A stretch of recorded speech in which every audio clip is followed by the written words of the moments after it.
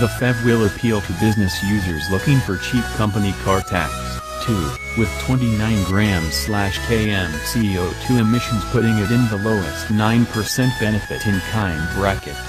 For comparison, the regular Niro 3 has a 19% rating, emitting 101 grams km of CO2. Performance is sluggish, though.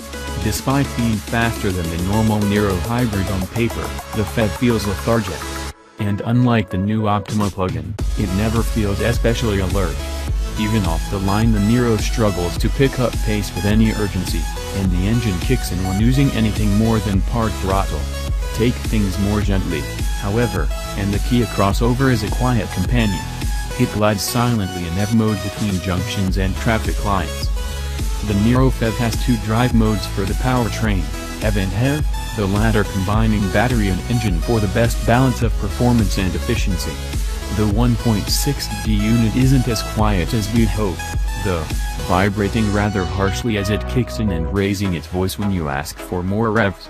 The 6-speed dual-clutch gearbox isn't the smoothest, either, but many will find it preferable to Toyota's CVT setup.